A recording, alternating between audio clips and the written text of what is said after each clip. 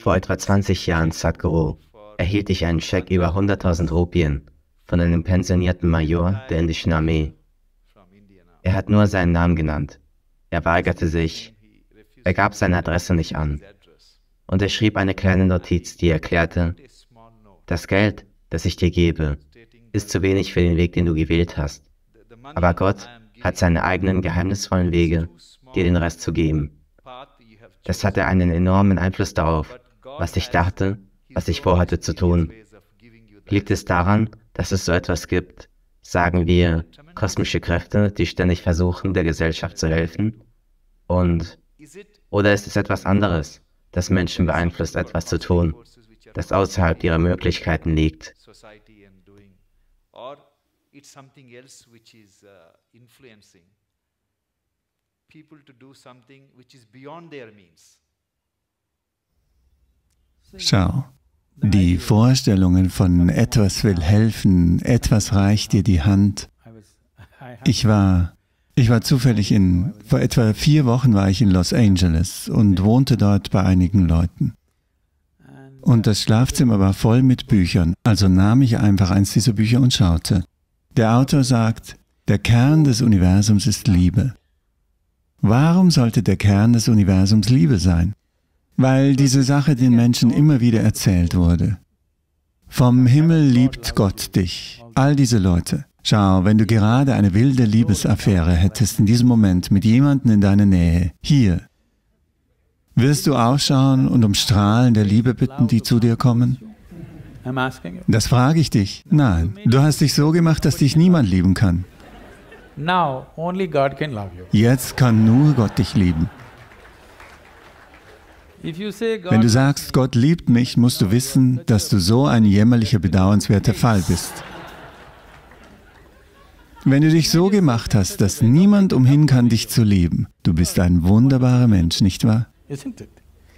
Wenn es also, wir müssen verstehen, es gibt etwas, das man menschliches Denken und Fühlen nennt. Menschliche Bedürfnisse nach, emotionale Bedürfnisse nach Liebe, Fürsorge, Berührung, das. Der Kosmos oder das, was man als Quelle der Schöpfung bezeichnet oder göttlich, oder wenn du das Wort Gott benutzen willst, da Gott etwas personifiziert, werden wir es ablehnen, dieses Wort zu benutzen. Sagen wir, was auch immer die Quelle der Schöpfung ist, die wir im Allgemeinen als Gott bezeichnen, durch religiöse diese Sache, im Grunde ist es nur eine Intelligenz, die einfach in alles Mögliche explodiert.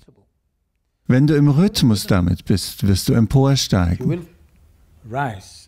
Wenn du nicht im Rhythmus damit bist, wird es dich erdrücken.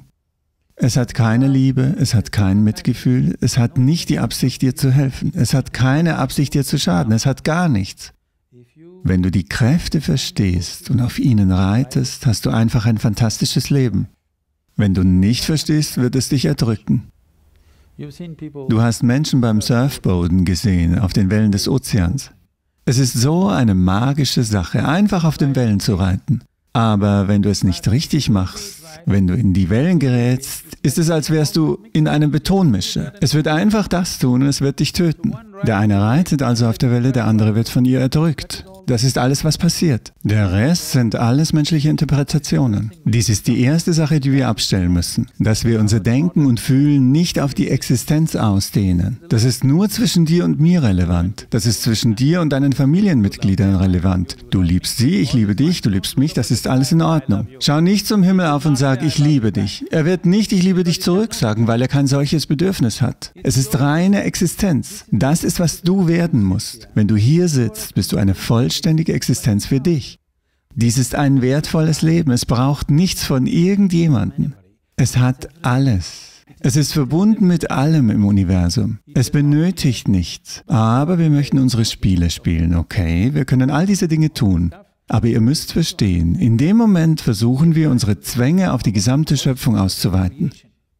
So funktioniert es nicht. Existenz versucht nicht dir zu helfen. Du magst damit im Einklang sein. Bingo bist du. Ob du bewusst damit im Einklang kamst oder unbewusst, irgendwie bist du in Einklang gekommen. Deshalb hat Shankara gesagt, Yogaratova Bogaratova. Das heißt, irgendwie tust du es, mir egal. Adi Shankara ging so weit, irgendwie tust du es. Du schaffst es, Mann.